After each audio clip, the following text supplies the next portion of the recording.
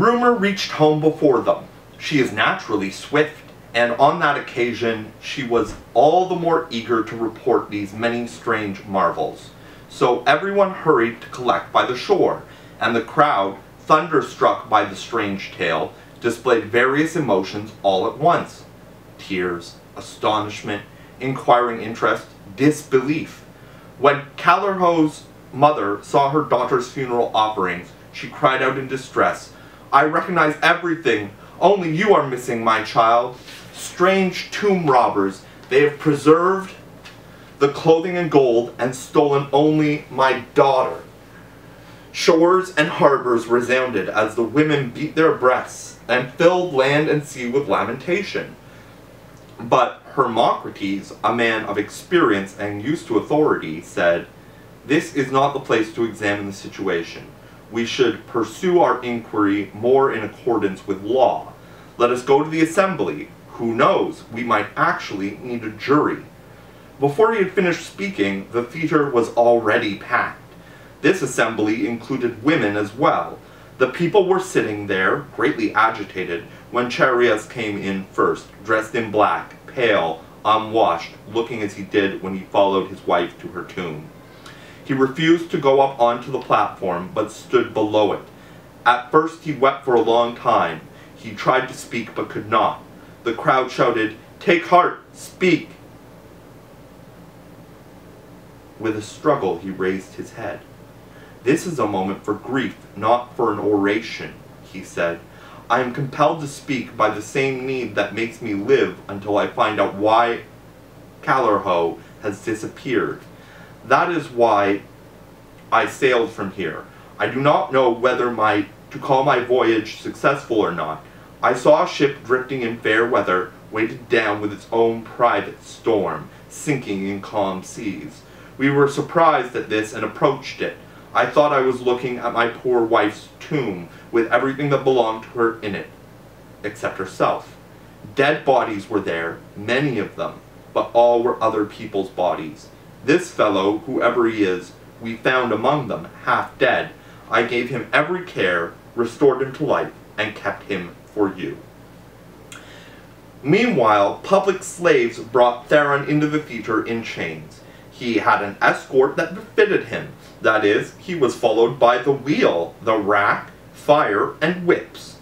Providence was according him the proper prize for his efforts. When he had taken his position in the middle of the assembly, one of the magistrates asked him, Who are you? Demetrius, he replied, Where are you from? I am a Cretan. Tell us what you know. I was sailing to my brother in Ionia when I was left behind by my ship. I joined a cutter that was passing that way. At the time I thought they were merchants, but now I realize they were tomb robbers. We were at sea for a long time, and all the others died for lack of water. I have just managed to survive, because I have never done anything wicked in my life. Syracusans, you are a people celebrated for your humanity. Do not be more cruel to me than thirst and the sea.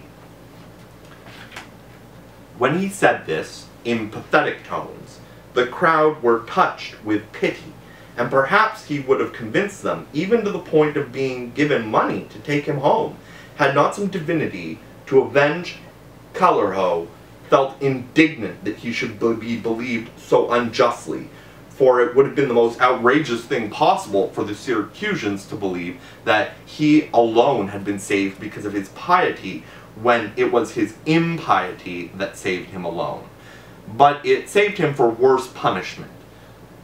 Thus, a fisherman in the crowd recognized him and said quietly to the people sitting by him, I've seen that man before, wandering about our harbor. His words were quickly passed on to more people, and someone cried out, He's lying! So the whole crowd turned toward him, and then the magistrates ordered the man who had spoken first to come down. When Theron denied the accusation, the fisherman was more readily believed. At once they called for the torturers, and the impious rogue was whipped. He had fire applied to him, his flesh was torn, but he held out for a long time and almost overcame the torture. But conscience is a strong force in every one of us, and truth is all powerful. With reluctance and slowly, Theron confessed. He began his story I saw riches being enclosed in the tomb and assembled a gang of robbers. We opened the tomb and found the corpse alive. We carried everything away and put it in our cutter. We sailed to Miletus, sold the woman alone, and started to take everything else to Crete. But we were driven out into the Ionian Sea by winds. And you have seen what happened to us. He told the whole story, but failed to mention one thing the name of the man who had bought Callirhoe. At this at these words, joy and grief over, came over everyone. Joy that Callirhoe was alive, grief that she had been sold.